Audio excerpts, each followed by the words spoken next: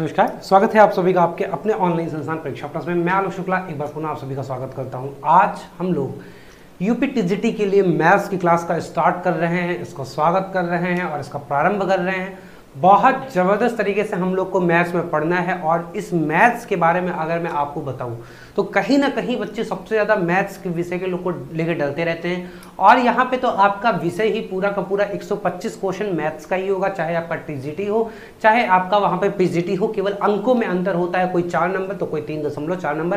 प्रश्न आप सभी को चार ही चार करने हैं, और सबसे बड़ी बात और सबसे अच्छी बात यह है कि लमसम निन्यानबे दशमलव नौ परसेंट सिलेबस क्या है, सेम है, और पूछे जाने क्वेश्चन की प्रवृत्ति भी सेम होती है।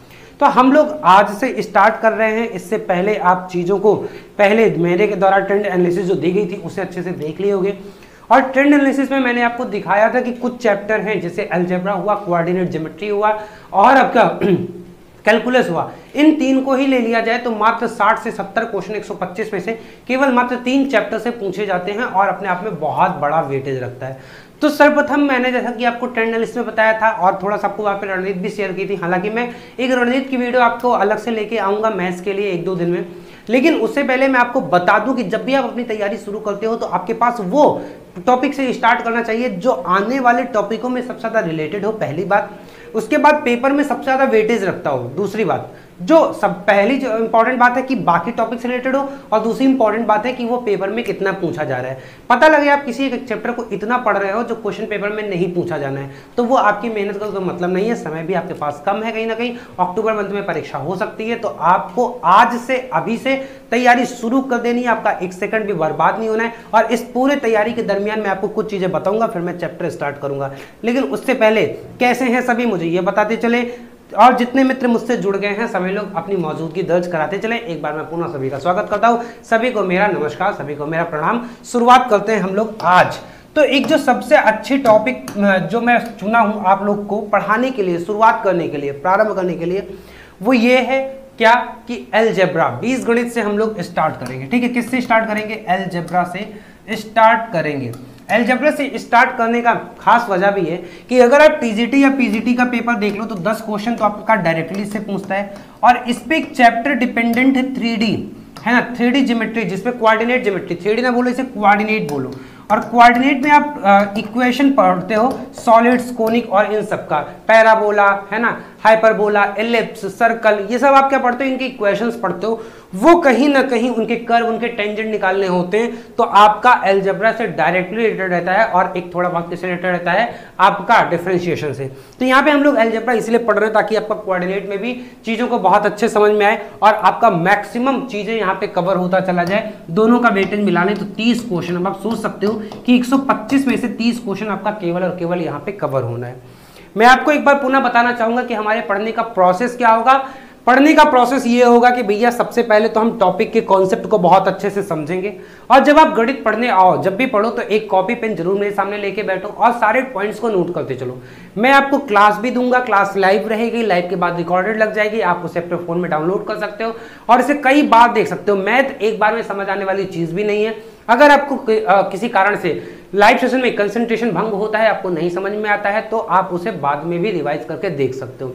दूसरी बात, इसका बहुत ही विधिवत मैं आपको नोट्स देने वाला हूँ। नोट्स आपको मैं एक बार दिखा दूँ कि किस प्रकार का आपको नोट्स दूँगा ताकि आपको थोड़ा वो हो जाए, इस पूरे उसमें।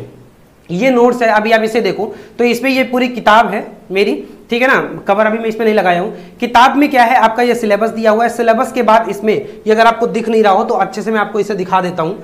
ये शायद अब आपको बहुत विधवत तरीके से दिखे। इसमें सिलेबस, और सिलेबस की विशेषता यह है कि इंग्लिश और हिंदी मैंने दोनों एक साथ करके दिए हैं कि किसी भी बच्चे को कोई दिक्कत ना हो। यहाँ पे आप देख सकते हो, वही के हिंदी लिखा हुआ है, उसी का इंग्लिश लिखा हुआ है। तो बाइलिंगल आपको सिलेबस भी दिया हूँ और किताब भी लगभग बाइलिंगल होगी। उसके बाद आपको ट्रेंड एनालिसिस दिया गया है कि किस वर्ष से किसमें क्या ज़्यादा पूछा गया है। और साथ में ये भी बताया गया इस किताब में कि दो हज़ार बाईस में किस टॉपिक से सबसे ज़्यादा प्रश्न पूछा जाएगा। यही नहीं, इसके बाद से आपका टॉपिक शुरुआत होता है बीस गणित से शुरुआत होगा। और कितनी विद्वत, कितनी बखूबी तरीके से आप देख सकते हो, इसको पिरोया गया है। एक एक चीज़, चाहे कर्म हो, चाहे फिर आपका वहाँ पे कॉन्सेप्ट हो चाहे आपका सॉल्ट ट्रिक हो, चाहे आपके बेसिक पॉइंट हो इंपॉर्टेंट पॉइंट हो, है ना? शेषफल प्रमेय की बात करें, गुणनखंड की बात करें, कुछ भी आप इस चैप्टर में आपका कुछ भी छूटेगा नहीं। और इसके बाद जब आपका चैप्टर कंप्लीट हो जाता है या एक टॉपिक कंप्लीट हो जाती है तो वहाँ पे आपको जो मेन सॉल्ट ट्रिक्स होते हैं, वो आपको परीक्षा प्लस पॉइंट के रूप में दिया जाता है, या फिर आपके जो इंपॉर्टेंट पॉइंट है, वो ऐसे लिख दिया जाता है जहाँ से क्वेश्चन डायरेक्ट बनते हैं। और इसके बाद इसके बाद आपका शुरुआत होता है क्वेश्चंस की प्रैक्टिस और प्रीवियस क्वेश्चन की एनालिसिस तो वो आपका लास्ट में विद सॉल्यूशन लगाया गया है। ऐसे प्रत्येक चैप्टर आपको मिलेंगे बाइलिंगुअल मिलेंगे, आप देख सकते हो। क्वेश्चन जो है आपका इंग्लिश और हिंदी दोनों में ही यहाँ पे रखा गया है, ठीक है? इंग्लिश और हिंदी दोनों में ही क्वेश्चन क्वेश्चन आपका रखा जाएगा तो बाइलिंगुअल आपका मटेरियल रहेगा। तो ये आपके लिए जो मैं आपको बता रहा हूँ कि जो पूरा प्रोसेस होगा, हमारे पढ़ने का क्या होगा। सबसे पहले तो हमारी क्या होगी? क्लास होगी, ठीक? पहला मॉड्यूल आपका क्या होगा? क्लास होगा। क्लास लाइव होगा और ये कायदे से मेरे क्या मतलब रहेगा? आपको कॉन्सेप्ट बहुत अच्छे समझाने वाला। क्योंकि मैं एक बात बताऊँ कि आप किसी ऐसे एग्ज़ाम की तैयारी करने नहीं जा रहे हो, जहाँ पे आप केवल क्या कर लो, कुछ शॉर्ट ट्रिक रट लो, कुछ केवल आप पर्टिकुलर टाइप के क्वेश्चन प्रैक्टिस कर लो और उसके बाद आपका क्या हो जाए? वहाँ पे सिलेक्शन हो जाए। You are going to face 125 question each of mathematics having higher mathematics और सारे के सारे जो विषय हैं आपके, सारे के सारे सब्जेक्ट हैं वो कहीं ना कहीं अपने आप में बहुत ज़्यादा वजूद रखते हैं इस बात को आपको समझते हुए चलना है। तो सबसे बड़ी बात, और अगर हम प्रीवियस ईयर क्वेश्चंस को देखें तो बहुत क्वेश्चन बहुत ज़बरदस्त क्वेश्चन पूछा है। जैसे अभी मैं एल्जेब्रा की पढ़ाने जा रहा हूँ एल्जेब्रा की बात करूँ तो एल्जेब्रा में एक क्वेश्चन दिया हुआ है। आप किसी वर्ष में देखोगे, उसमें दिया हुआ है कि अगर एक ट्रेंगल है, ये शायद आपको मैं क्वेश्चन कराऊँगा अभी है ना? एक ट्रेंगल है पी आर क्यू है पी क्यू आर ऐसे है। क्वेश्चन ये था आपका कि पी आर क्यू है क्यू पे 90 डिग्री है और बोल रहा है कि टेन पी बाई टू और टेन क्यू बाई टू आपका क्या है? दो रूट है। तो वो पूछ रहा है, चार ऑप्शन दे रहा है कि कौन सा इसमें सही होगा? A plus B minus C बराबर ज़ीरो होगा। A plus B plus C बराबर ज़ीरो होगा। A minus B minus C बराबर ज़ीरो होगा। नन ऑफ़ दीज ऐसे करके एक ऑप्शन क्वेश्चन दिया हुआ है। बहुत ज़बरदस्त क्वेश्चन दिया हुआ है। तो इसमें आप देख रहे हो कि इसमें ट्रिग्नोमेट्रिक आइडेंटिटी भी प्रयोग हो रही है, इसमें आपका एल्जब्रा भी प्रयोग हो रहा है, और इसमें आपकी ज्योमेट्री भी लग रही है। तीन कॉन्सेप्ट मिला के एक क्वेश्चन बनाया है, और ऐसे आपको बहुत सारे क्वेश्चन देखने को मिल जाएँगे। ये मैं आपको केवल ऐसा दे रहा हूँ। जी। ठीक है? तो ये आपका जो क्लास का मॉड्यूल होगा, पहले कॉन्सेप्ट समझाऊँगा, ताकि जब सारे कॉन्सेप्ट से क्वेश्चन पूछे तो आप रिलेट कर पाओ बहुत अच्छे से। उसके बाद हमारा मॉड्यूल होगा प्रैक्टिस का। प्रैक्टिस कहाँ से होगा? साथ में इसके आपके पीडीएफ मिलते रहेंगे। जैसे जैसे चैप्टर कवर होता जाएगा। प्रैक्टिस के लिए आपको एमसीक्यूज और सबसे ज़्यादा प्रीवियस ईयर क्वेश्चन के क्वेश्चन मिलते रहेंगे। अच्छा एक सबसे गलत बात जो है आप लोग की तैयारी के समय वो क्या होता है? ये चैप्टर में आज शुरुआत करो, एक चीज़ समझना टॉपिक पे भी हम लोग आएँगे। लेकिन टॉपिक पे आने से पहले, जब भी कहते हैं ना कि किसी चीज़ की तैयारी करने जा रहे हो तो उसे अच्छे से ठोंक बजा लो, ताकि आपको जो आगे वाला समय है, वो कम लगे। पहले से चीज़ों को एनालाइज कर लो। पहले से कुछ एनालिसिस करके चलोगे तो आपका समय बचेगा और आपका जो मेहनत होगा, वो सही दिशा और सही दशा में होगा। आप लाख मेहनत करते रहो और अंततः उसका रिज़ल्ट बहुत बुरा हो। आप परीक्षा में बैठो और आपके सामने वो एक भी क्वेश्चन आए जो आप पढ़ के आए हो। तो आपकी मेहनत का कोई मतलब नहीं रहता। और एक चीज़ समझना कि ये जमाना हो, या दुनिया हो या कोई भी हो, आपसे जब आप सफल हो तभी आप, जब आपका रिज़ल्ट पॉजिटिव होगा, तभी आपकी कोई औकात बनेगी। अन्यथा आप कितना भी मेहनत कर लो रिज़ल्ट पॉजिटिव नहीं है सिलेक्शन नहीं है तो आपने कितनी भी मेहनत की है, कोई मतलब नहीं हो। तीसरी चीज़ होती है, मेहनत आप कर तो रहे हो, लेकिन किस दिशा दशा में कर रहे हो, क्या वो स्मार्ट तरीके से कर रहे हो, या फिर केवल गधों वाली चाल चल रहे हो, ये भी आपका समझना यहाँ पे बहुत ज़्यादा ज़रूरी है, ठीक है? यहाँ तक सभी लोग समझ में आ रहा चीज़ों को। तो प्रैक्टिस देंगे एमसीक्यू और पीवाईक्यू एक में बोलना था, सबसे बड़ी गलती आप लोग क्या करते हो? गलती ये करते हो कि मार्केट से जाते हो कि आप अनसॉल्व ले आते हो, पाँच साल का, दस साल का सॉल्व ले आते हो। अनसॉल्व नहीं सॉल्व ले आते हो। खासकर मैथ्स का। उसके बाद आप केवल उन क्वेश्चन को मगना और पढ़ना शुरू कर देते हो। उसके बाद आप ये एक्सपेक्ट करते हो कि मैं 4000 क्वेश्चन 3000 क्वेश्चन लगा लिया हूँ। इसी में से प्रीवियस ईयर का फंस जाएगा और मेरा सही हो जाएगा। मेरे भाई, ये सामान्य अध्ययन का विषय नहीं है। अगर यही स्ट्रेटेजी आप सामान्य अध्ययन में अपनाए होते टीजीटी पीजीटी के लिए तो हो सकता है कि आप 60 से 7 परसेंट सत्तर परसेंट अपने कार्य में सफलता पा जाते। किंतु यहाँ पे आप गणित लगा रहे हो। और गणित आप प्रैक्टिस भी करके जाओगे, किंतु आपका कॉन्सेप्ट नहीं क्लियर रहेगा तो परीक्षा इधर आप पढ़ते जाओगे, उधर बोलते जाओगे। परीक्षा हॉल में बैठोगे तो पढ़ा हुआ क्वेश्चन भी, हुबहू क्वेश्चन 2003 टीजीटी का 2013 पीजीटी का भी पूछ लेगा तो भी आप उसे लगा नहीं पाओगे। तो यहाँ पे ज़रूरी क्या होता है कि कॉन्सेप्ट को अच्छे से समझते हैं, समझना। पीवाईक्यू आप करो ज़रूर, क्योंकि क्वेश्चन यहाँ से रिपीटेड होते हैं सिमिलर कॉन्सेप्ट के रिपीट होते हैं, ये मैं आपको बता रहा हूँ। और उसके बाद, लेकिन कॉन्सेप्ट आपका ज़्यादा ज़रूरी है और कुछ अन्य क्वेश्चन पे प्रैक्टिस ज़रूरी है। तीसरा हमारा क्या होगा टेस्ट का मॉड्यूल होगा, और इस पर हम लोग इस तरीके से पूरी क्लास को पूरा करेंगे। क्लियर है? यहाँ तक सभी को चीज़ें सभी को। हाँ या ना बोलते चलना यस और नो बोलते चलना, पूरी ऊर्जा में हम लोग इस क्लास को लेके चलेंगे गणित विषय के, के लिए मैं आपके सामने हूँ और मुझे इस बात की बहुत खुशी है कि इस सब्जेक्ट को मैं इतना विधवत तरीके से इतना प्यार से समझाते हुए एक एक बहुत बारीकियों को क्रिस्टल क्लियर करते हुए चलूँगा। सारे कॉन्सेप्ट आपके सामने मैं खोल के रख दूँगा। मुझे बस थोड़ा सा समय दीजिए। गणित आपका सबसे फेवरेट विषय बन जाएगा ये बात आप समझते हुए चलना। जो आपने विषय इसलिए लिया है और इसके सहारे आप अध्यापक बनना चाहते हैं आप प्रवक्ता बनना चाहते हैं तो निश्चित ही ये विषय आपको आपके सपनों को पूरा कराने में पूरा मददगार साबित होगी तो स्टार्ट करते हैं हम लोग टॉपिक जो है, हमारा क्या है? बीज गणित है। कौन सी टॉपिक है? बीज गणित यानी कि एलजेब्रा मैं आपको बता दूँ क्लास का मॉड्यूल क्या होगा? बाइलिंगुअल होगा। है ना? दोनों ही भाषाओं में हम लोग पढ़ते हुए चलेंगे। ज़्यादा 60 परसेंट लगभग 60 से पैंसठ परसेंट अंग्रेज़ी कवर करेंगे और 40 से 45 परसेंट हम लोग हिंदी कवर करेंगे। कारण क्या है? क्योंकि जब आप ग्रेजुएशन करते हो तो प्रथम साल के बाद दूसरा और तीसरा जो साल होता है, वहाँ पे भी इंग्लिश होता है तो ज़्यादा बच्चे इंग्लिश में ज़्यादा कंफर्टेबल फील करते हैं। फिर भी मैं बाइलिंगुअल लेके चलूँगा ताकि किसी को कोई भी प्रकार की समस्या ना हो। अब जब भी हम एल्जेब्रा स्टार्ट करते हैं करेक्ट हम पाँच से दस मिनट बाद टॉपिक को स्टार्ट कर रहे हैं, लेकिन इससे पहले जो मैंने चीज़ आपको बताया, वो अत्यंत महत्वपूर्ण था आपके लिए। एल्जेब्रा जब भी हम स्टार्ट करते हैं तो मेरा, मेरे दिमाग में हमेशा एक प्रश्न आता है क्या प्रश्न आता है और वो प्रश्न आपके सामने भी मैं रखना चाहूँगा, क्योंकि ज़रूर विषय आपका मैथ्स है। इसके पूर्व भी आप बहुत बार गणित पढ़े होंगे। लेकिन अगर मैं आपके सामने कुछ चीज़ें पूछूँ, मैं पूछना क्या चाह रहा हूँ इस चीज़ को समझते हुए चलना। चार चीज़ें आप समझ, सुनते हो। एक क्या सुनते हो? एक आप सुनते हो इक्वेशन, जिसे आप हिंदी में बोलते हो समीकरण। एक दूसरा पढ़ते हो आप एक्सप्रेशन। ठीक है?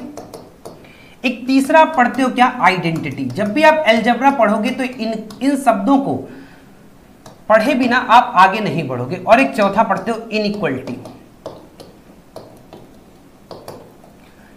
क्या आप सभी को इन चारों के बीच में रिलेशन और इन चारों के बीच का अंतर पता है? क्या ये चारों टर्म एक हैं या चारों टर्म अलग अलग है? और अलग अलग है तो इनका प्रयोग कैसा है, क्या ये आपको पता है? अब मैं इस चीज़ आपको समझाने का प्रयास करता हूँ कि इक्वेशन और एक्सप्रेशन इक्वेशन और एक्सप्रेशन में क्या अंतर होता है?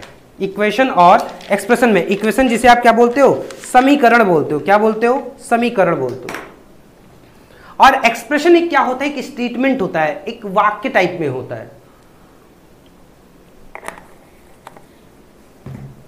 ठीक है?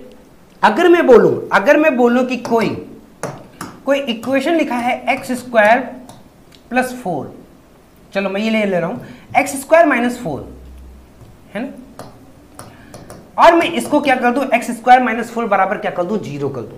और मैं अगर कहूँ कि एक्स स्क्वायर माइनस फोर इन दोनों में आपको बेसिकली अंतर समझ में आ रहा होगा। क्या अंतर है? अब जब एक्स स्क्वायर माइनस फोर के बराबर ज़ीरो देख रहे हो तो मैं क्या कह रहा हूँ कि किसी एक पॉलोनमियल को पॉलोनोमियल शब्द आपके सामने आया, बहुपद जैसे हिंदी में बोलते हैं, आगे हम लोग समझेंगे। लेकिन अभी क्योंकि हम समझ रहे हैं इक्वेशन और एक्सप्रेशन और मैं इस बात को समझता हूँ कि थोड़ा बहुत टर्मोलॉजीज आपको पता है कि किसे पॉलिनोमियल बोलते हैं, बहुपद किसे कहते हैं।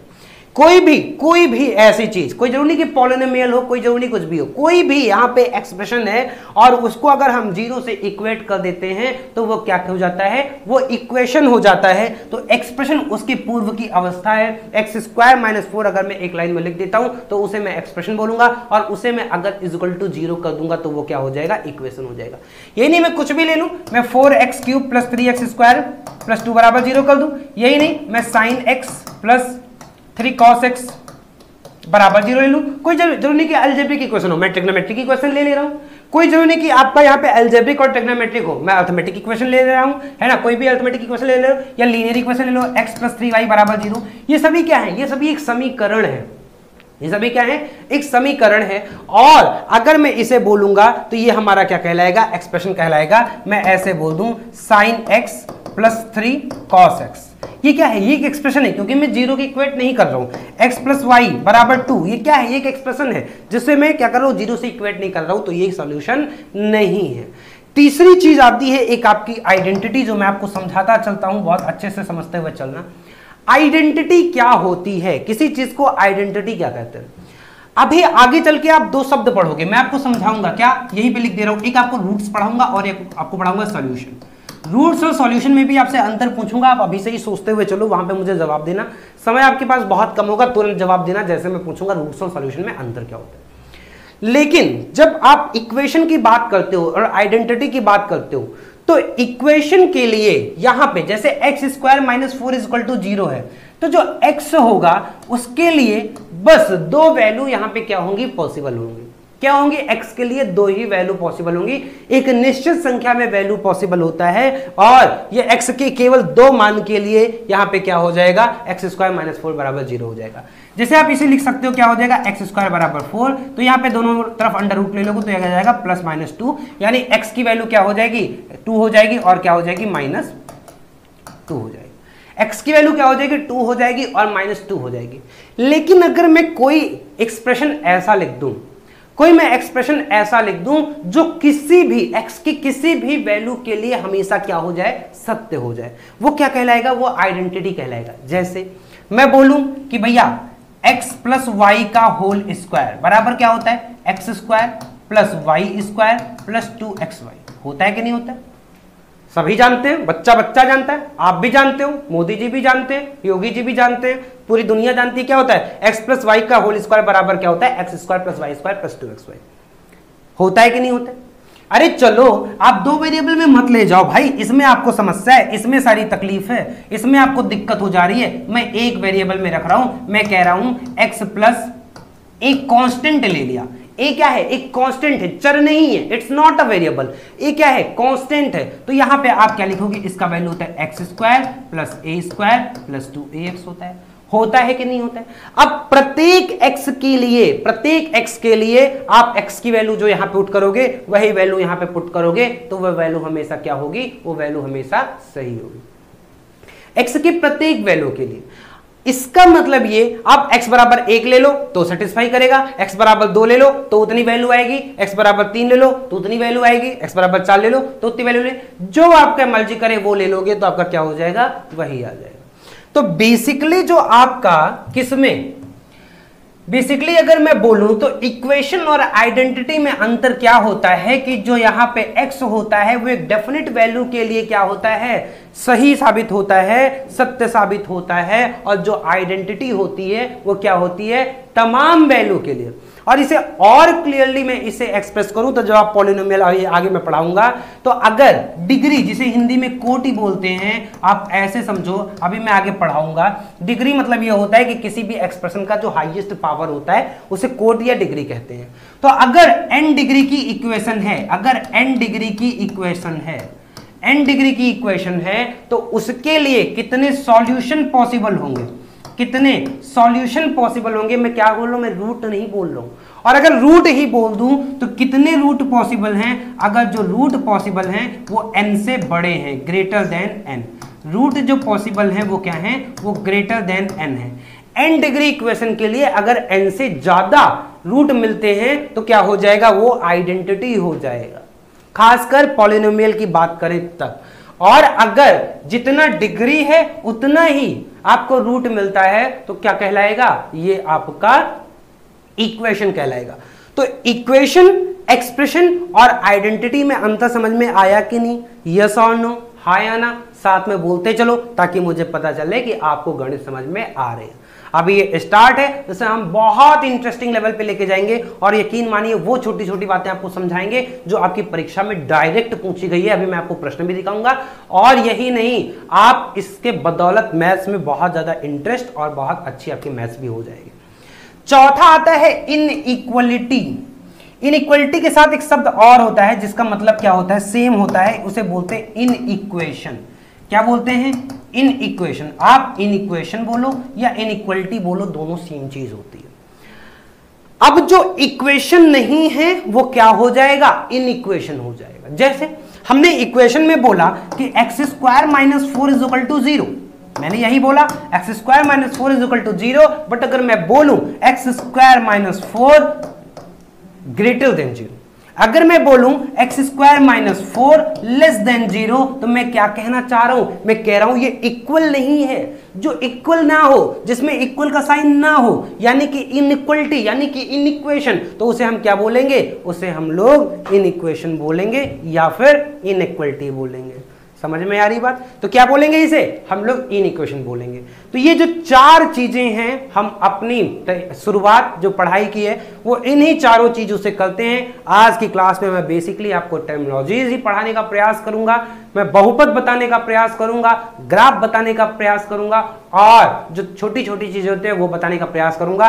कल से हम लोग और बेहतर तरीके से इसे पढ़ने का प्रयास करेंगे अगले लेक्चर में। लेकिन, अब जब आपने इतना पढ़ ही लिया है तो एक चीज़ और पढ़ लो। क्या पढ़ लो? अभी अभी हमने एक शब्द पढ़ा था, क्या पढ़ा था? पॉलिनोमियल्स तो जब भी आप क्या पढ़ते हो, जब भी आप एल्जेब्रा पढ़ते हो तो वो एल्जेब्रा की जो ए बी सी है, वो किसमें डिपेंड करती है? वो एल्जेब्रा की ए बी सी पॉलिनोमियल्स में ही डिपेंड करती है। ये वही ए बी सी है जो क्वाड्रेटिक इक्वेशन को A X square plus B X plus C बराबर ज़ीरो बोलता है। क्वाड्रेटिक एक्सप्रेशन को A X square plus B X plus C बोलता है। उसी ए बी सी की बात कर रहा हूँ। तो पॉलिनोमियल्स पूरे एल्जेब्रा की ही एबीसी है। और ये जो एबीसी आप यहाँ पे देख रहे हो, कायदे से आप कंफ्यूज हो रहे होगे कि सर ये तो कोफिशियंट की बात कर रहे हैं। अरे मेरा एबीसी कहने का मतलब इसका माई बाप। क्या? इसका जो एल्जेब्रा का माई बाप है वो कौन है? वो पॉलिनोमियल्स तो ये आपके लिए बहुत ही आवश्यक है पढ़ना। पॉलिनोमल्स को हिंदी में क्या कहते हैं? जल्दी से बताओ। हिंदी में बोलते हैं बहुपद, लेकिन आपकी परीक्षा में पूछेगा, क्या पॉलिनोमल्स को हिंदी में क्या कहते हैं? नहीं तो हिंदी वाले बहुपद जान के खुश रहो, अंग्रेज़ी वाले पॉलिनोमल जान के खुश रहो। दोनों लोग ओवर खुश मत हो कि हमने इसकी हिंदी जान ली, हमने इसकी अंग्रेज़ी जान ली, ये आपसे पूछने नहीं जाएगा। पूछेगा क्या? पूछेगा कि भैया कोई पॉलिनोमियल्स है? कोई पॉलिनोमियल है, कोई बहुपद है तो इसकी कोटि क्या होगी? तो हम इसमें क्या पढ़ेंगे? कोटि क्या होती है? यानी क्या? डिग्री क्या होता है? इस चीज़ को भी आगे पढ़ेंगे। लेकिन पॉलिनोमियल्स हमें पढ़ना है तो इस चीज़ को हम समझते हुए चलते हैं। लिखने का साइज़ बड़ा कर दें? ठीक है। ठीक है अशोक कुमार जी। बड़ा बड़ा तो मैं लिख रहा हूँ, लेकिन फिर भी मैं और बड़ा लिखने का प्रयास करूँगा। ठीक है? तो क्या हम बहुपद को सबसे पहले समझते हैं? बहुपद में दो शब्द है, एक पॉली है और एक मियल्स है या एक बहु है और एक पद है। तो सबसे पहले एक शब्द आया पद, जिसे आप क्या बोलते हो? टर्म। और ये टर्म्स क्या होते हैं? तो कोई भी इक्वेशन, कोई भी इक्वेशन जो किसमें हो, जिसमें दो चीज़ें हो, क्या हो? एक आपका वेरिएबल हो और एक आपका क्या हो? एक आपका कांस्टेंट हो। यानी एक चर हो और एक क्या हो? अचर हो। और ऐसे बने हुए, ऐसे तमाम इनके प्रयोग से, इनके प्रयोग से बने हुए पद और तमाम पदों से बने हुए समीकरण को या एक्सप्रेशन को क्या कहते हैं? पॉलिनोमियल्स कहते हैं, बहुपद कहते हैं। जैसे आपका ए एक्स प्लस बी ये क्या है? ये आपका एक पॉलिनोमियल है। X square plus two X plus one क्या है? पॉलिनोमियल है। Three X square plus two X cube minus three X plus six बराबर ज़ीरो ये क्या है? एक आपका इक्वेशन है पॉलिनोमियल इक्वेशन है। मैं बोलूँ, x की power four plus three X square plus two बराबर ज़ीरो ये क्या है? ये आपका एक पॉलिनोमियल है। सबका अलग अलग नाम है, जैसे ये लीनियर है, जैसे ये क्वाड्रेटिक है, जैसे ये क्या है? आपका क्यूबिक है, ये क्या है आपका? क्वार्टिक या बाई क्वाड्रेटिक बोलो।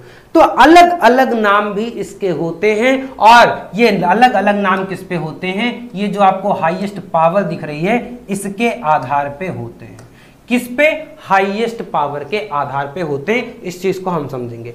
लेकिन उसे समझने से पहले जो टर्मोलॉजीज जो हमने प्रयोग किया, क्या प्रयोग किया? कि भैया, एक क्या होता है? एक आपका वेरिएबल होता है चर और एक आपका क्या होता है? कांस्टेंट यानी कि अचर, ये क्या होता है? तो ये जो एक्सप्रेशन आप देख रहे हो, इसमें आपने देखा कि एक जो एक्स है एक्स इसे आप क्या बोलते हो? इसे आप बोलते हो वेरिएबल इसे क्या बोलते हो? चर बोलते हो. वेरिएबल क्यों? क्योंकि ये वेरी कर रहा है. मतलब X can take any value X कोई भी वैल्यू ले सकता है. एक्स की वैल्यू आप एक्स की वैल्यू एक रख दो एक्स की वैल्यू टू रख दो एक्स की वैल्यू थ्री रख दो एक्स की वैल्यू फोर रख दो एक्स की वैल्यू फाइव रख दो, वो सबके साथ खुश है. उसे किसी से भेदभाव नहीं है. तो जो वेरिएबल हो, जो वेरी कर रहा है एक्स कोई भी वैल्यू ले सकता है, वो क्या होगा? चर होगा. लेकिन जो चेंज नहीं हो रहा है, जैसे दो दो बराबर पाँच बोल सकते हो क्या? नहीं बोल सकते हो। दो बराबर चार बोल सकते हो क्या? नहीं बोल सकते हो। मतलब जो अपनी खुद की औकात लेके रखता है, उसका खुद का औकात है भैया। उसके पास टाली ट्रिकलर सब है। उसके पास बड़ी बड़ी गाड़ियाँ हैं तो उसका खुद का औकात है। वो चेंज नहीं होगा। वो क्या कहलाएगा? वो अचर कहलाएगा। वो क्या कहलाएगा? वो कांस्टेंट कहलाएगा। बात समझ में आ रहा है? वो क्या कहलाएगा? वो कांस्टेंट कहलाएगा। ऐसे ही यहाँ पे देखो तो तीन क्या है? कांस्टेंट है, एक्स क्या है? वेरिएबल है। यहाँ पे तीन क्या है? कांस्टेंट दो क्या कांस्टेंट है। एक्स क्या है? वेरिएबल है। और इनके सहायता से बने हैं पद। जैसे एक पद क्या है? एक्स की पावर फोर पद को समझते हुए चलो।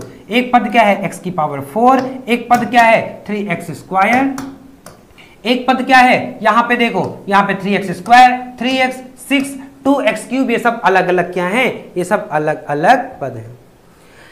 एक्सपोलिनोमियल और एक्सप्रेशन में क्या डिफरेंस है?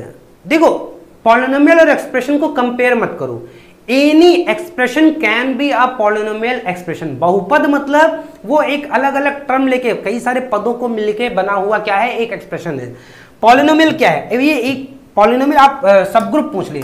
पॉलिनोमियल क्या है? Polynomial is a expression made by multiple या लाइक और अलाइक मल्टीपल टर्म्स बस आप ऐसे बोलो पॉलिनोमियल भी एक एक्सप्रेशन है। सारी पॉलिनोमियल एक्सप्रेशन ही कहलाते हैं। बात समझ में आ रही है? एक्सप्रेशन के अंतर्गत ही पॉलिनोमियल आता है। स्क्रीन को बड़ा कर लीजिए। अशोक जी, शायद आप छोटी स्क्रीन पे देख रहे हो। स्क्रीन को बड़ा कर लीजिए। वहाँ पे आपको दिखेगा, ये मैं देखिए, इतना बड़ा बड़ा तो लिख रहा हूँ, इतना क्लियर लिख रहा हूँ कि एक लाइन में पूरा बोर्ड भर जा रहा है। कितने शब्द लिखा हूँ यहाँ पे? है ना? इतने शब्द लिखा हूँ। ठीक है? इससे बड़ा लिखूँगा तो पूरी राइटिंग बेकार हो जाएगी, समझ नहीं पाओगे। फिर भी मैं बड़ा लिखने का प्रयास कर रहा हूँ, ठीक है? तो क्या हो जाएगा, ये कांस्टेंट और वेरिएबल समझ में आ गया और टर्म्स आपको समझ में आया। तो मैं अभी इस इक्वेशन को, किस इक्वेशन को यहाँ पे उठाऊं? इस इक्वेशन को three X square plus two X cube plus three X minus plus जो भी हो, चलो प्लस सिक्स इसे मैं लिखूं। तो एक पद क्या है? एक पद है आपका थ्री एक्स स्क्वायर एक पद क्या है आपका टू एक्स क्यूब एक पद आपका क्या है थ्री एक्स और एक पद आपका क्या है छ ये चारों अलग अलग क्या है? ये चारों अलग अलग पद है। ये क्या है? ये चारों अलग अलग पद हैं। और पद भी दो प्रकार के होते हैं। क्या होते हैं? एक होते हैं लाइक टर्म्स मतलब एक जैसे पद जो होते हैं, और क्या होता है? एक अलाइक टर्म्स यानी कि जो अलग अलग होते हैं। तो लाइक और अलाइक किस आधार पे होता है? इस चीज़ को समझो कि अगर अगर किसी पद की जो डिग्री है, अभी मैं डिग्री को और अच्छे समझाऊँगा। अगर किसी पद की जो डिग्री है, वो समान है। अगर ये थ्री एक्स स्क्वायर है तो यहाँ पे मैं टू एक्स स्क्वायर लिख दूँ, मैं फोर एक्स स्क्वायर लिख दूँ, मैं one upon two X square लिख दूँ, मैं three under root three by four X square लिख दूँ। आप एक चीज़ देख रहे हो कि ये वाला जो पूरा, ये वाला जो पूरा टर्म है किसकी बात कर रहा हूँ मैं? इस पूरे टर्म की बात कर रहा हूँ। यहाँ पे भी एक्स स्क्वायर है, यहाँ पे भी एक्स स्क्वायर है, यहाँ पे भी एक्स स्क्वायर है, यहाँ पे भी एक्स स्क्वायर है। ये सारे क्या है? ये सारे सिमिलर हैं। ये सारे एक जैसे हैं तो इन्हें क्या मैं बोलूँगा? इन्हें बोलूँगा ये सब लाइक टर्म है। लेकिन अगर मैं बोलूँ कि मैं थ्री एक्स स्क्वायर को कंपेयर कर रहा हूँ, और थ्री एक्स स्क्वायर के साथ किसको कंपेयर करूँ? मैं टू एक्स को कंपेयर करूँ। तो यहाँ पे एक्स की पावर वन है, यहाँ पे एक्स की पावर टू है। ये क्या है? ये डिफरेंट टर्म है। ये ये कांस्टेंट पे डिपेंड नहीं करते।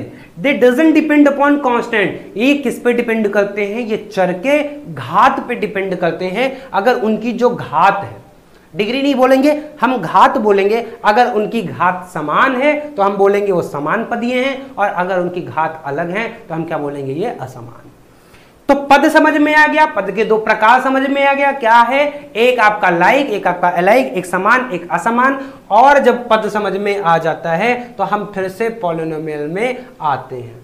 तो ये सारे के सारे पॉलिनोमियल हैं, लेकिन इसके आपके क्या है? इसका, इसे मैं यहाँ से मिटाल दे रहा हूँ, इतनी चीज़ें। है ना? जब आप इस चीज़ को देखोगे, इस चीज़ को देखोगे तो ये क्या लिखा हुआ है? ये लिखा हुआ है ए एक्स प्लस बी लिखा हुआ है। और यहाँ पे देखो, इसकी पावर क्या है? पावर वन है। यानी अगर पावर एक होगा तो इसे हम क्या बोलेंगे? लीनियर एक्सप्रेशन बोलेंगे लीनियर पॉलिनोमियल बोलेंगे। क्या बोलेंगे? लीनियर पॉलिनोमियल बोलेंगे या लीनियर एक्सप्रेशन बोलेंगे। अगर यहाँ पे A X square plus B X plus C है, यानी कि जो आपकी उच्चतम घात है, वो कितनी है? दो है। तो इसे हम क्या बोलेंगे? क्वाड्रेटिक बोलेंगे या क्या बोलेंगे? द्विपदीय बोलेंगे या द्विघातीय बोलेंगे। द्विपदीय नहीं दो घातीय बोलेंगे। क्या बोलेंगे? द्विघातीय।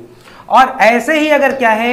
ए एक्स क्यूब है, प्लस बी एक्स स्क्वायर है, प्लस सी एक्स है, प्लस डी है तो इसे हम लोग क्या बोलेंगे?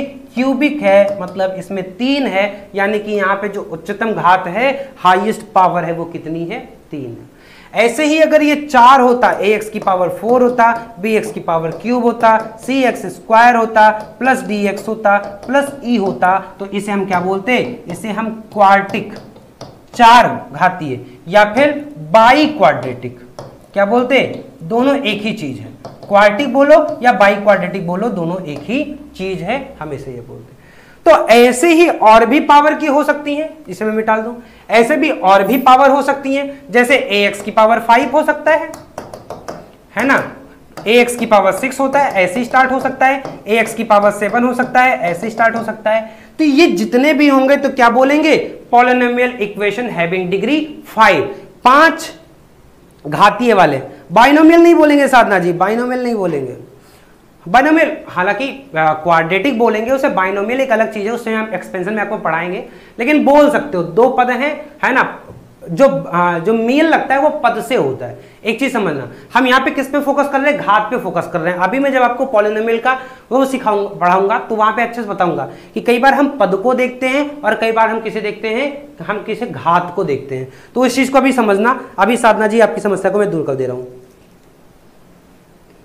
बहुत बढ़िया क्वेश्चन पूछे हैं सौरभ जी, बहुत ज़बरदस्त क्वेश्चन पूछे हैं और इसका भी मैं आपको जवाब अभी देता हूँ। बहुत ज़बरदस्त क्वेश्चन पूछे हैं। ठीक है तो यहाँ पे अब आप आ गए तो ऐसे ही क्या होगा? मैं कह रहा हूँ कि ए एक्स की power n plus a x की power n minus one b x की पावर एन माइनस वन ऐसे करके चलता चला जाए, या ए नॉट ए वन ऐसे करके कर दो, अभी मैं आपको बताता हूँ।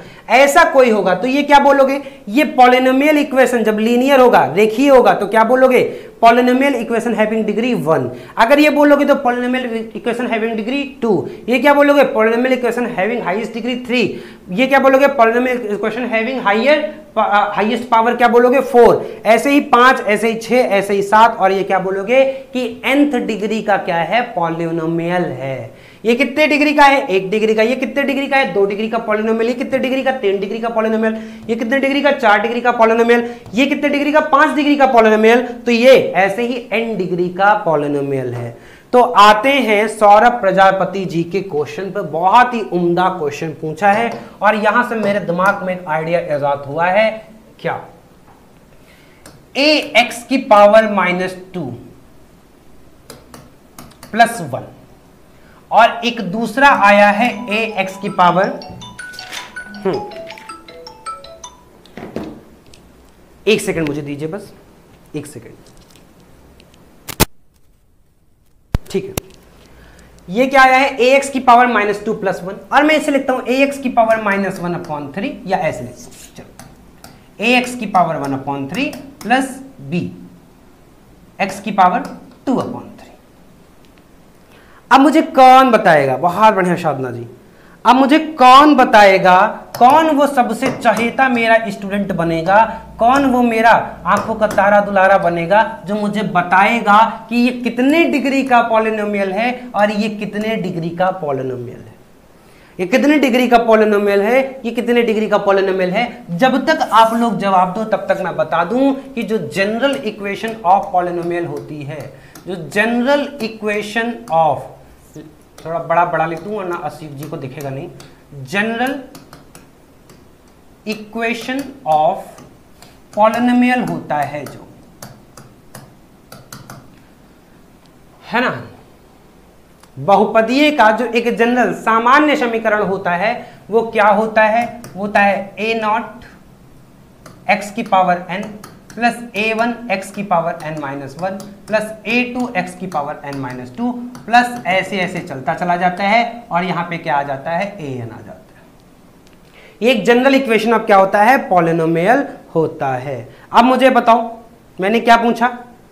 जो मैं पूछा हूँ, उसका उत्तर मुझे बताते चलो। मैंने आपसे कुछ पूछा है। जल्दी बताएँ।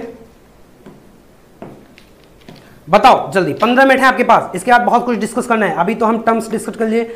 अभी हम क्या डिस्कस करेंगे? रूट्स डिस्कस करेंगे। तो ये बताओ, इसका उत्तर क्या होगा? थोड़ा सा मैं वेट कर रहा हूँ। जल्दी से।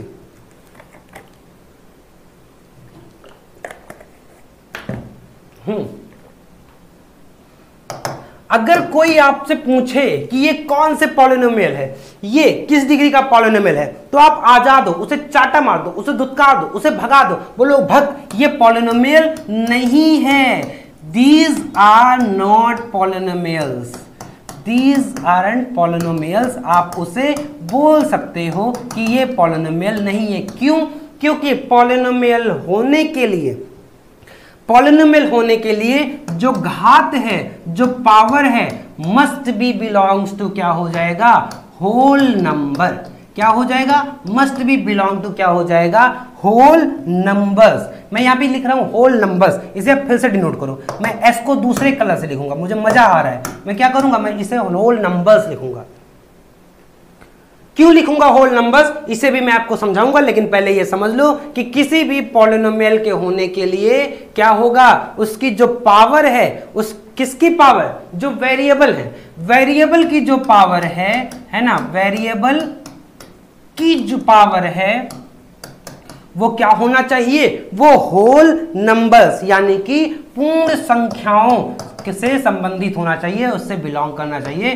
पूर्ण संख्याओं के अंतर्गत आना चाहिए। क्या आना चाहिए? पूर्ण संख्याओं के अंतर्गत आना चाहिए। तभी आप उसे पढ़ माइनस टू पूर्ण संख्या में आता है क्या? नहीं। पूर्ण संख्याएँ क्या होती हैं?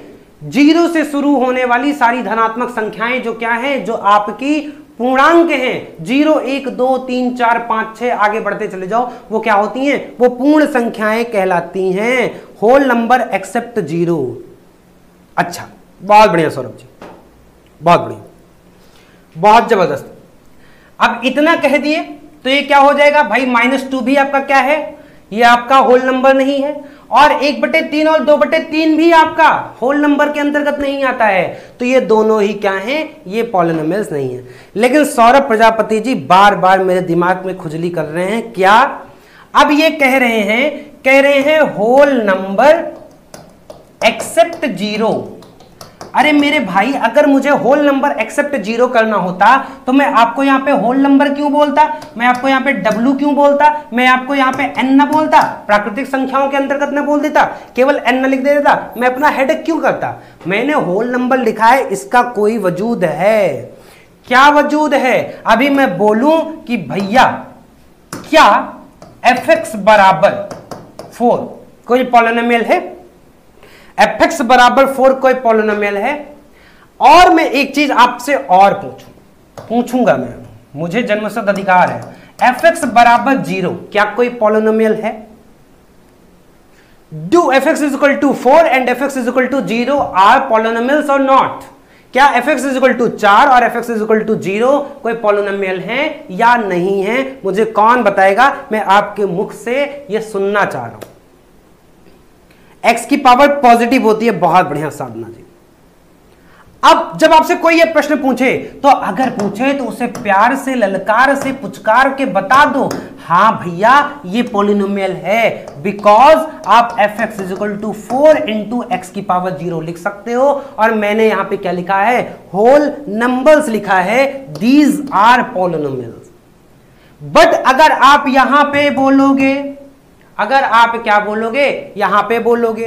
तो भैया, किसी एक लड़के से बोलोगे तो उसके दिमाग में कुछ खुरा खुराफात आएगा। बोलेगा, ज़ीरो इंटू एक्स की पावर टू फिर आप किसी से पूछोगे तो बोलेगा f x equal to zero into x की पावर थर्टी आप पूछोगे तो एफ़ एक्स की पावर ज़ीरो इंटू एक्स की पावर थर्टी वन आप किसी और से पूछोगे तो बोलेगा f x equal to zero into x की पावर बुलडोजर। लो, जो उसका मन आएगा, वो बोल देगा। बोल देगा कि नहीं बोल देगा? तो अब यहाँ पे क्या हुआ? यहाँ पे क्या हुआ? एक चीज़ देखो, यहाँ पे अगर आप देखो तो डिग्री, यानी कोटि, अभी मैं डिग्री की बात करता हूँ, इतनी बात सुन लियो अब मैं बता ही दूँगा। डिग्री यानी कोट क्या होनी चाहिए? डिफाइंड होनी चाहिए। कोट उसकी क्या होनी चाहिए? डिफाइंड होनी चाहिए, फिक्स होनी चाहिए। यहाँ पे कोट डिफाइंड है, ज़ीरो है। इसे आप क्या बोलोगे? इससे आप अचर पॉलिनोमियल बोलोगे। क्या बोलोगे? ऐसे पॉलिनोमियल कांस्टेंट पॉलिनोमियल कहलाते हैं। क्या कहलाते हैं? कांस्टेंट पॉलिनोमियल कहलाते हैं। कैसे? जिनमें एक्स की पावर क्या होती है? शून्य होती है। ज़ीरो पॉलिनोमियल नहीं कांस्टेंट पॉलिनोमियल बिल्कुल Saurabh ji degree of a polynomial can be zero it will be acceptable in all cases जबकि जो उसकी डिग्री है वो डिफाइंड होनी चाहिए। यहाँ पे क्या है? डिग्री नॉट डिफाइंड है। यहाँ पे क्या है? इन सारे केसेस में अंतर आपको क्या दिख रहा है? डिग्री नॉट डिफाइंड है। और अगर डिग्री नॉट डिफाइंड है तो ये सारे पॉलिनोमियल्स नहीं हैं। ये सारे पॉलिनोमियल्स नहीं है। ये बात तो मोदी जी को भी पता थी, पता नहीं। आपको कैसे नहीं पता लगे। तो दो कंडीशंस क्या है कि वेरिएबल की जो पावर है वो क्या होनी चाहिए मेरे मित्र? होल नंबर होनी चाहिए, पूर्ण संख्याएँ होनी चाहिए। और दूसरा पॉइंट आप क्या लिख लो कि इसकी जो डिग्री है, इसकी जो कोटि है डिग्री यानी कि कोटि, वो क्या होनी चाहिए? मस्ट बी डिफाइंड क्या होनी चाहिए? पता होनी चाहिए। तो किसी भी एक्सप्रेशन को क्या होने के लिए? पॉलिनोमियल होने के लिए क्या? जो सब सर्वाधिक महत्वपूर्ण जो दो कंडीशन है, वो क्या है? कि उसकी जो घात होनी चाहिए, वो होल नंबर्स होनी चाहिए, और जो उसकी डिग्री है, वो क्या होनी चाहिए? वो क्या होनी चाहिए? डिफाइंड होनी चाहिए। अब हम इतनी बात समझ में, अगर आपको आगे, कुछ किताबें और कुछ टीचर्स क्या बोलते हैं कि उनके जो कॉफिशियंट होते हैं दे मस्ट बी रियल जबकि ऐसा नहीं है, वो साफ़ साफ़ गलत बोलते हैं। शायद उन किताबों के राइटर को भी सही जानकारी नहीं है। शायद वो मोदी जी से नहीं पूछ पाए होंगे, उस चीज़ को पढ़ पाए होंगे, ट्यूशन नहीं लिए होंगे। उन्हें नहीं पता है क्यों उन्होंने क्या बोला कि coefficient of a polynomials can only be या मस्ट बी रियल ऐसा नहीं है पॉलिनोमियल्स के कॉफिशियंट लेकिन आप यहाँ पे दो शब्द बार बार सुन रहे हो और मैं बहुत गंदा फील कर रहा हूँ कि इसका मैं आपको मतलब नहीं बता रहा हूँ। कॉफिशियंट कॉफिशियंट जिसे आप लोग क्या बोलते हो? गुणांक बोलते हो। क्या बोलते हो? गुणांक। समझते तो सब लोग हो गए ना? अरे जब मैंने ये लिखा थ्री एक्स स्क्वायर तो ये जो एक्स स्क्वायर के साथ एक कांस्टेंट वाली वैल्यू है ना, इसी को कॉफिशियंट कहते हैं। इसी को कॉफिशियंट कहते हैं। और जो डिग्री होती है डिग्री क्या होती है? किसी एक्सप्रेशन की, किसी एक्सप्रेशन में, है ना? किसी एक्सप्रेशन में किसी पद का। किसी एक्सप्रेशन में किसी पद की जो हाईएस्ट पावर होती है, जो उच्चतम घात होती है, उसी को क्या कहेंगे? डिग्री कहेंगे। लेकिन इतना बार बार बताने के बाद भी आप गलती करोगे जब मैं आपके सामने क्वेश्चन लेके आऊँगा। मैं जानता हूँ आप गलती करोगे, क्योंकि गलती करना आपका जन्मशत अधिकार है। खैर, गलती करना, जब गलती करोगे तो मैं बताऊँगा। लेकिन अभी आप दो पॉइंट इस चीज़ को समझते हुए चलो। डिग्री अगर समझ लिए, ये होता है, कोट ये समझ लिए तो मैंने एक चीज़ आपको बताया था जो यहाँ से रिलेटेड नहीं नंबर सिस्टम से रिलेटेड है, संख्या पद्धति से रिलेटेड है, लेकिन मैं सोच रहा हूँ आ गया तो बता दू। मैंने यहाँ पे होल नंबर्स लिखा, ना कि होल नंबर लिखा। किताबें होल नंबर लिखती हैं। कुछ अध्यापक इसे होल नंबर बोलते हैं। दो सब समझना, समझने का प्रयास करना। बोलते हैं पूर्ण संख्या। क्या बोलते हैं? पूर्ण संख्या। क्या बोलते हैं? प्राकृतिक संख्या। नेचुरल नंबर इसे ऐसे डिनोट करते हैं, जबकि वो साफ़ साफ़ गलत करते हैं, कहते हैं। क्यों गलत कहते हैं? इससे इसको भी समझते हुए चलो। पूर्ण संख्या कभी ना होगा, पूर्ण संख्याएँ होगा। ये क्या है? ये एक आपका, क्या है? प्लूरल है आपका, है ना? ये आपका बहुवचन है। क्यों? क्योंकि एक सेट होता है। जब आप सेट में पढ़ोगे तो मैं इसे आपको अच्छे से और समझाऊँगा। ये क्या है? ये एक ऐसा सेट है जो ज़ीरो से स्टार्ट होने वाली, जो डब्लू है, एक ऐसा सेट है जो ज़ीरो से स्टार्ट होने वाली संख्याओं का क्या है? समूह है। और नेचुरल नंबर क्या है? एक से स्टार्ट होने वाले संख्याओं का समूह है। कोई पूछता है कि भाई चार क्या है? होल नंबर है कि नेचुरल नंबर अब ये कंफ्यूजिंग हो गया ना। चार क्या है? प्राकृतिक संख्या है कि पूर्ण संख्या? चार कोई संख्या, ये प्राकृतिक है, पूर्ण नहीं है। आप बोलोगे चार प्राकृतिक संख्याओं और पूर्ण संख्याओं दोनों के ग्रुप में पाए जाने वाली एक संख्या है। चार कोई प्राकृतिक संख्या नहीं, चार कोई पूर्ण संख्या नहीं। ऐसे ही आप जब ऐसा डिफाइन नहीं कर पाओगे तो आप पूछने वाले के गाल पे चाटा मार सकते हो, बोल सकते हो कि भैया, आप क्वेश्चन क्या कर रहे हो? गलत पूछ लो क्लियर ऐसी छोटी छोटी बातें, बहुत सारी छोटी छोटी बातें। जैसे क्वेश्चन में आपको देखे जाऊँ। ज़ीरो बटे ज़ीरो की वैल्यू क्या होती है? ज़ीरो बटे ज़ीरो क्या होगा?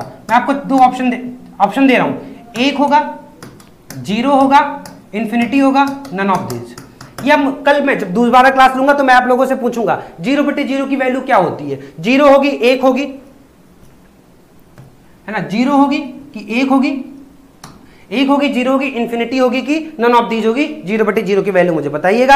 आज की क्लास हम लोग यहीं पे एंड करते हैं पॉलिनोमियल्स की, और इसके आगे हम लोग कल शुरू करेंगे। लेकिन इतना पढ़ लियो तो एक चीज़ समझ लो पॉलिनोमियल में आपको एक चार्ट बनाते हुए चला जा रहा हूँ। ये समझते हुए चलना, क्या मैंने क्या बताया? पॉलिनोमियल्स और पॉलिनोमियल्स कायदे से क्या हो सकते हैं? जब मैंने उनका कॉफिशियंट की बात किया तो कुछ लोग जो बोलते थे बोलते थे कि उनके जो कॉफिशियंट होने चाहिए, वो मस्ट बी रियल होने चाहिए। ऐसा बिल्कुल नहीं है। उनके कॉफिशियंट क्या? रियल नहीं भी हो सकते। है ना? उनके कॉफिशियंट रियल नहीं भी हो सकते। हैं तो कायदे से जो पॉलिनोमियल्स होता है, इसे आप क्या करोगे? इसे आप कायदे से बोल सकते हो कॉम्प्लेक्स पॉलिनोमियल्स और कॉम्प्लेक्स पॉलिनोमियल मतलब सम्मिश्र पॉलिनोमियल है ना? इसे आप दो चीज़ों में तोड़ सकते हो। एक आप क्या बोल सकते हो? रियल पॉलिनोमियल ठीक है? जो वास्तविक है। हिंदी वाले रियल मतलब वास्तविक। और एक नॉट रियल जो नॉट रियल हो। मतलब आप इन्हें किससे संदर्भित कर सकते हो? कि यहाँ पे जो क्या हो? एक्स कॉफिशियंट जो हो ए आई ए आई ही बोलोगे ना बिलोंग्स टू क्या हो? आर हो। यहाँ पे ए आई बिलोंग्स टू क्या हो? आर कैप हो मतलब वो रियल ना ठीक, उसके बाद, अब यहाँ पे फिर से फर्दर आप तोड़ सकते हो। यहाँ पे रियल में क्या हो सकते हैं? उसके कॉफिशियंट क्या हो सकते हैं? उसके कॉफिशियंट रेशनल में भी हो सकते हैं। A i belongs to Q बोल सकते हो। क्यू मतलब रेशनल नंबर मैं यहाँ पे लिख दूँ। रेशनल पॉलिनोमियल उसे बोला जाता है। क्यों और ये इरेशनल भी हो सकता है बिलोंग्स टू इरेशनल नंबर यानी ए आई जो है बिलोंग्स टू क्यू बार भी हो सकता है। बात समझ में आ गई?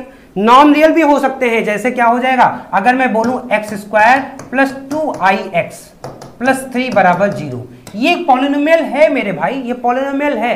किसने बोला ये केवल रियल हूँ? है ना? ऐसा नहीं है। इरेशनल भी हो सकते हैं। X square plus under root two x plus three बराबर ज़ीरो ये भी आपका क्या है? ये भी आपका पॉलिनोमियल है। इस चीज़ को समझते हुए चलना। क्लियर है? समझ में आ गया? ये चीज़ें समझ में आ गई? तो कॉम्प्लेक्स पॉलिनोमियल कायदे से पॉलिनोमियल को कॉम्प्लेक्स पॉलिनोमियल बोल सकते हो, जिसके दो पार्ट रियल और इमेजनरी जिसे बोलते हो। नॉट रियल मतलब इमेजनरी मतलब काल्पनिक, जो वास्तविक नहीं है वो क्या होगा? वो काल्पनिक होगा। क्या होगा? क्या होगा? काल्पनिक होगा, ठीक है? जो रियल नहीं होगा वो काल्पनिक काल्पनिक होगा, और वो आपका इस एक्सप्रेशन से आप उसे कर सकते हो। तो क्लियर हुई यहाँ तक बात? इतना हमने पॉलिनोमियल शुरू किया। कल से हम लोग क्या पढ़ेंगे? क्वाड्रेटिक क्या पढ़ेंगे? क्वाड्रेटिक इक्वेशन बहुत ज़बरदस्त है, लेकिन उससे पहले हम लोग क्या पढ़ेंगे? रूट्स पढ़ेंगे। उससे पहले हम लोग क्या पढ़ेंगे? सॉल्यूशन पढ़ेंगे। उससे पहले हम डिफरेंट पॉलिनोमियल्स के ग्राफ की बात करेंगे जीरोज की बात करेंगे, और ये बहुत ही महत्वपूर्ण, बहुत ही ज़बरदस्त टॉपिक है। इसे आप गुब्बारे के अंदर भर दो। क्लियर हो गई बात? तो चलो, आज इस क्लास को यहीं पे एंड करते हैं। क्लास अगर पसंद आई है तो अपने मित्रों को भी ज़रूर बताओ कि भाई परीक्षा प्लस में न्यूनतम शुल्क में सर्वाधिक गुणवत्तापूर्ण आपको यहाँ पे क्लासेस दी जा रही हैं। हमारे यहाँ सारी जो सारी फैकल्टी है बीटेक एमटेक और बहुत ज़बरदस्त तरीके से आपको बहुत ही विधवत तरीके से एक ही कॉन्सेप्ट क्रिस्टल क्लियर करके देने वाले हैं और सिलेक्शन की गारंटी भी लेने वाले हैं, वो भी न्यूनतम शुल्क में। फिर मिलेंगे। बहुत बहुत धन्यवाद। बहुत बहुत आभार सभी को।